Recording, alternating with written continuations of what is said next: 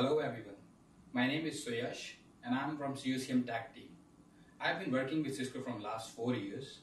I welcome you in this video series for IP phone hardware troubleshooting. I hope this will help you. Thank you. In this video, I'm going to explain you how you can perform a factory reset on 8861 series phone using the phone keypad. When you perform a factory reset on a phone, the configuration would be erased are your network configuration, security configuration, phone locale, call histories, etc. Before you perform the factory reset, ensure that uh, some configuration or some condition uh, are met. First of all, your phone should be connected to a DHCP enabled network and the TFTP server IP address should be configured as option 150 or option 66 on the DHCP. So first of all, let me tell you the procedure uh, to perform the factory reset and then we will do it on a phone.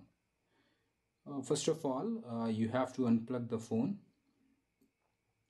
Uh, if, if using PoE, unplug the LAN cable or if using the power cube, unplug the power cube. Wait for at least 5 seconds. Press and hold pound sign and plug the phone back in.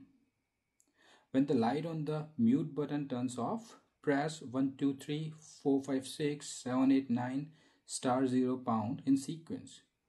After you press these buttons, the phone goes through the factory reset process. Do not power down the phone until it completes the factory reset process and the main screen appears. Now, let's do it on a phone. Okay let me unplug the cable.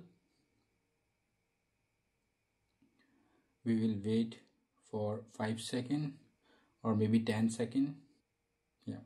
Press and hold the pound sign and plug the cable back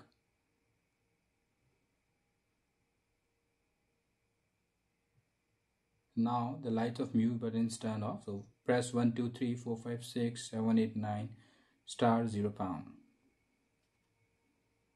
Now the phone is going through the factory reset process. It would load its image.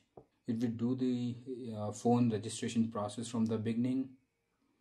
It would get the power uh, it would get the uh, VLAN information from switch. Then uh, IP address from DHCP server along with the TFTP server information. Then it would uh, reach out to TFTP server to get the configuration file and then uh, will get registered to the primary CUCM server. Okay, now the phone has come up. Thanks for watching.